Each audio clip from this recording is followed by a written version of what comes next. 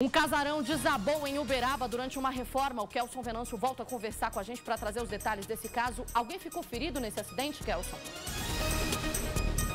Olha, Luciana, felizmente o acidente aconteceu ontem, era feriado, como todo mundo sabe, 1 de janeiro.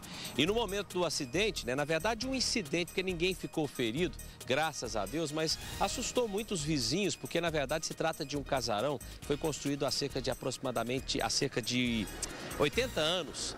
É, e a gente hoje pela manhã, a gente acompanhou lá o trabalho, inclusive da Defesa Civil, que teve lá, fez uma vistoria e constatou que tinham algumas irregularidades. Por exemplo, não tinha, não tinha nenhuma escora.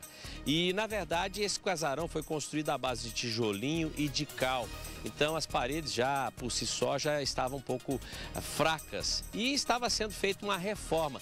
Eu conversei com o engenheiro, que é o Kleiber é, Teodoro, ele estava lá hoje pela manhã, ele disse que já estava prevendo que isso pudesse acontecer e que tinha inclusive ontem pela manhã pedido para colocar uma faixa isolando a área.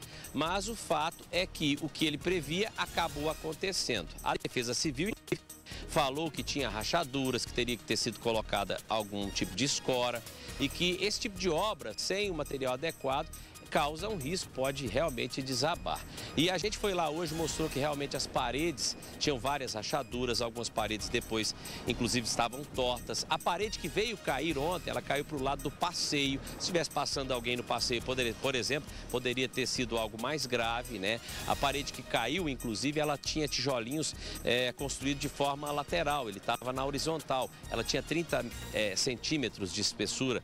Então, a Defesa Civil alega que havia havia risco sim, e inclusive que ainda continua tendo risco. Tanto que a própria Defesa Civil ampliou a área de isolamento e vai acompanhar o caso.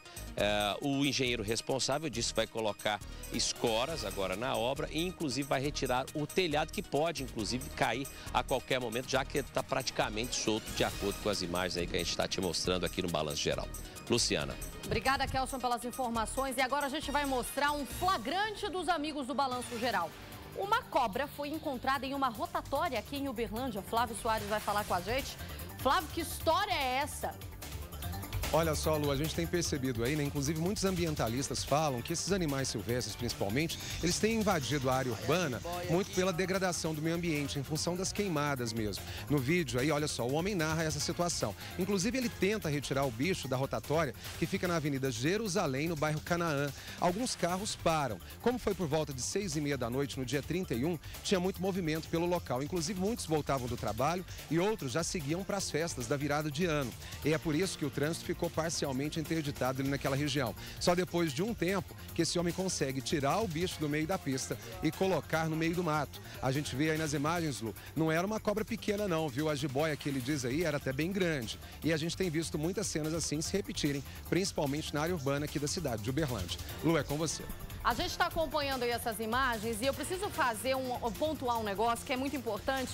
Que bom que ninguém matou assusta, dá medo, eu mesmo ia entrar em desespero, mas ainda bem que ninguém matou. Tiraram ali da rotatória, a vida seguiu para todo mundo, mas a orientação da Polícia Militar Ambiental e do Corpo de Bombeiros é que se você aí encontrar um animal como esse na sua casa, como o Flávio disse, é crescente o número de registros desses animais que estão na área urbana, mas lembrando, não, foi, não são eles que estão invadindo a nossa área, nós estamos invadindo o território desses animais. Mas se você encontrar um desses aí em volta da sua casa, no seu terreno, não mata não. Chama a Polícia Militar Ambiental, chama o Corpo de Bombeiros, eles têm um treinamento específico para recolher esses animais e devolver aí, libertá-los em seu habitat natural. Não mate, não precisa judiar não, respeita. É uma vida, né? Não precisa ficar com medo também não. Faz o seguinte, vai para longe, mas chama um socorro, chama o Corpo de Bombeiros e a Polícia Militar, que eles vão fazer o resgate.